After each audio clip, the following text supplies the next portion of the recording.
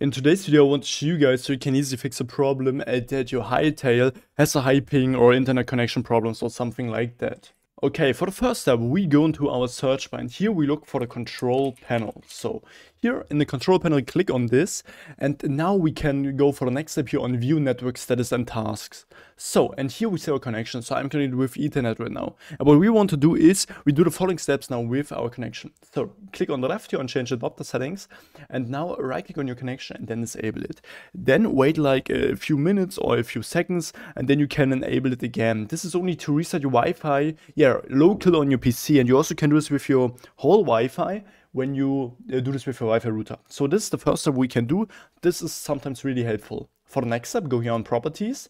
And now we go first here on configure. Click on a driver here and then on update driver. So now we can here search make for drivers. And um, yeah, here we have already installed the best driver. What we also can do is we can also browse on the computer for drivers then pick from a list here, and then we can here uh, download the newest driver.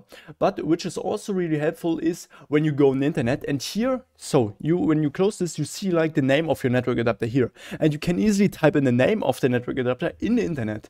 After that driver download, then you will also find the best driver software for your network adapter in the internet. So this can be really really helpful to make sure that you try this out in the internet.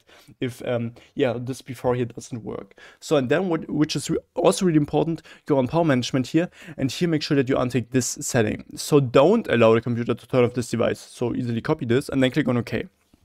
Okay, now right click on it again, go on properties now, and then on Internet Protocol version 4. On properties again, and then we click down here on use the following DNS server addresses. And here we type in the fastest DNS server which is available. So, and the preferred DNS server here, the fastest is 1111 or the alternative is 1001. So if this doesn't work, we can also try like 8888 or 8844. So um, this is also yeah, an opportunity. So then click on OK here, close this, and after the your PC, and then the problem should be fixed. If I could help you with the video, please leave a like and subscribe, and see you next time.